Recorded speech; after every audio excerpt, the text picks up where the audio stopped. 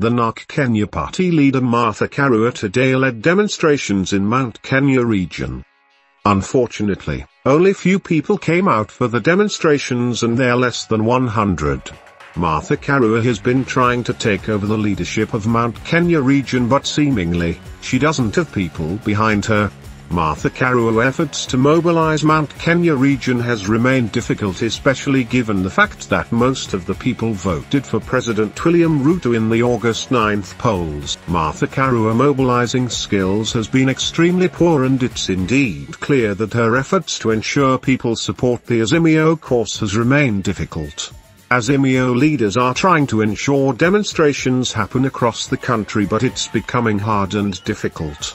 It's however a wait-and-see issue of what become of Azimio given the prevailing political circumstances.